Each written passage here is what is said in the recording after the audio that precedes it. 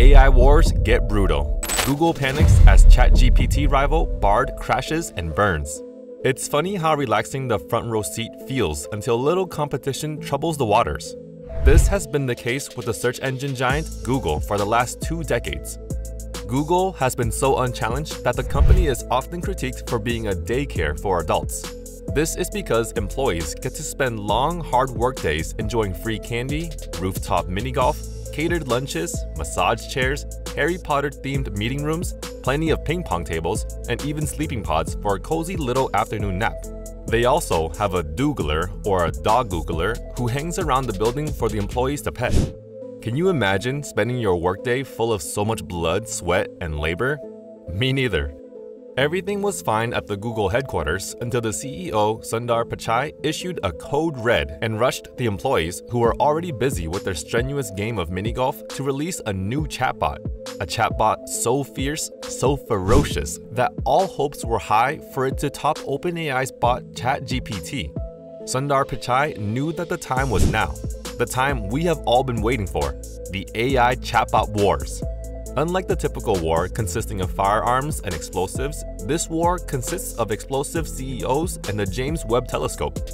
In this video, we'll be covering what is BARD, can we compare this Google AI to ChatGPT, the new kid on the block, and just how much of a backlash did BARD cause Google after the launch?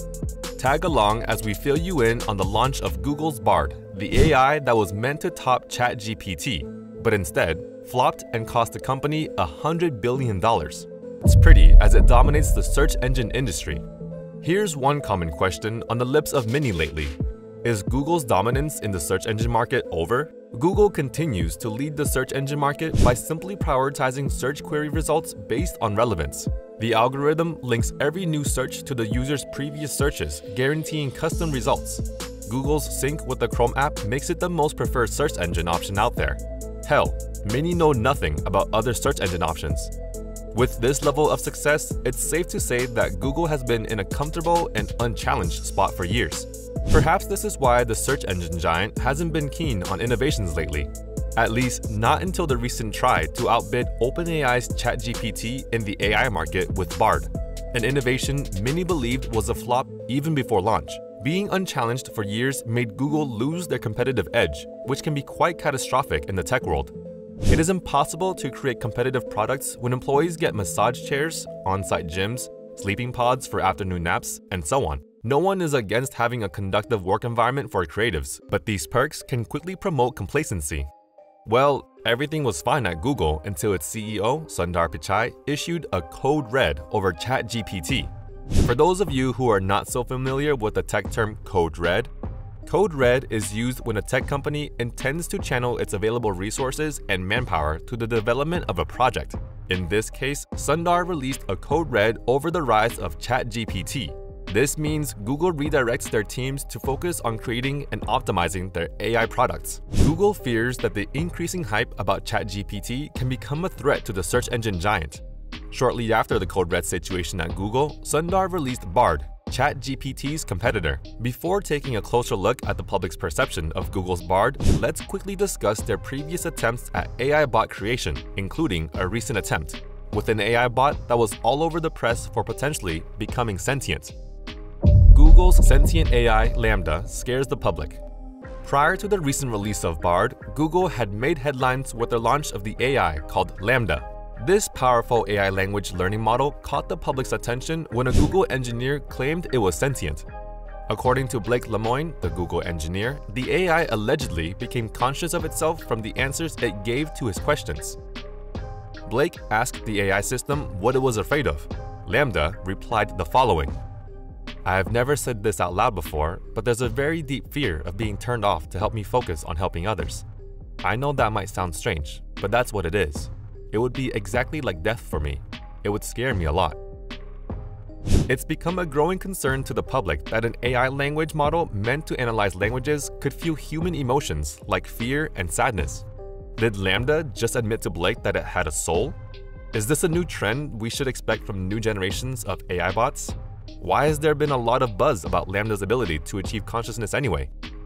Interestingly, OpenAI already has a similar tool as LaMDA called GPT-3. Both mathematical function tools help to calculate the possible outcome when predicting the next few words in one sequence.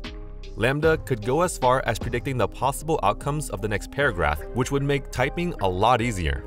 What makes LaMDA stand out is its ability to generate predictable conversations in a free-form manner.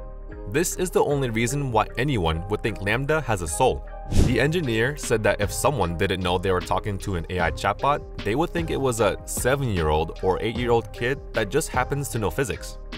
BARD is based off of this very intelligent language model LaMDA. Given how smart LaMDA is though, it needs to be fine-tuned and there's absolutely no room for mistakes.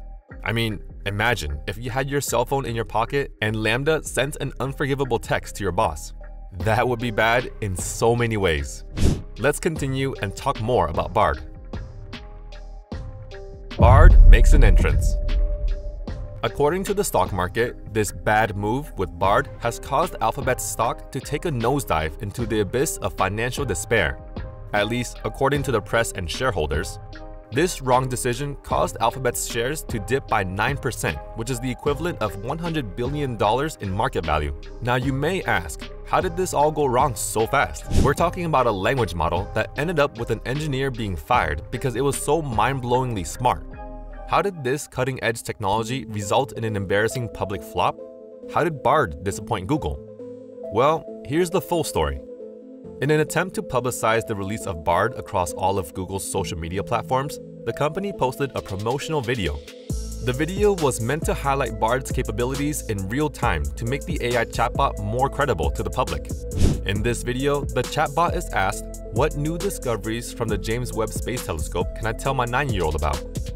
As expected, Bard was quick to answer like any AI bot would, churning out several responses to the question. Sadly, one of these responses said, the James Webb Space Telescope was used to take the very first pictures of a planet outside the Earth's solar system, or exoplanets as they are known in science lingo.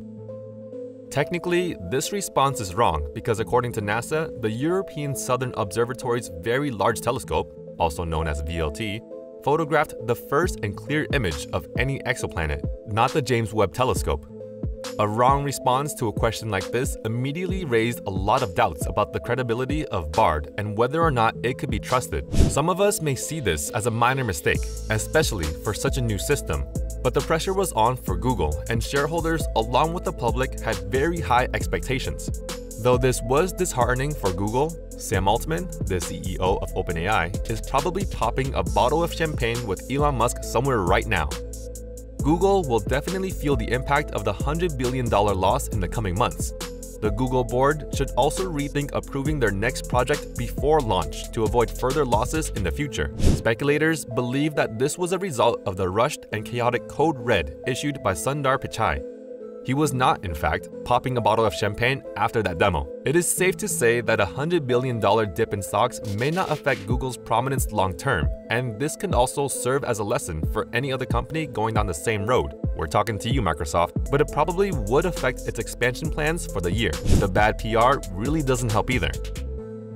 Conclusion Artificial intelligence has proved to advance way faster than many of us were expecting. Some believe that it is something to be feared. Others point out that the BARD flops shows how much work there is still left to do with AI, and that it's still in its baby stages. One thing is certain, it's not going anywhere. AI has and will continue to play a significant role in the search engine industry. We expect to see new AI chatbots spawn left and right in the next coming years.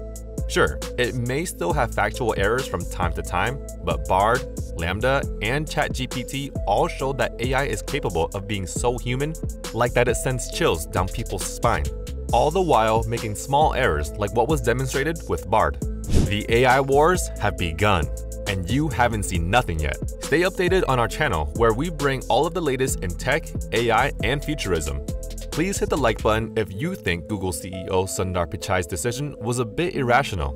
Click the subscribe button if you love how ChatGPT has taken over the AI world overnight. And hit the notification bell for more interesting AI tech videos like this. Thanks for watching.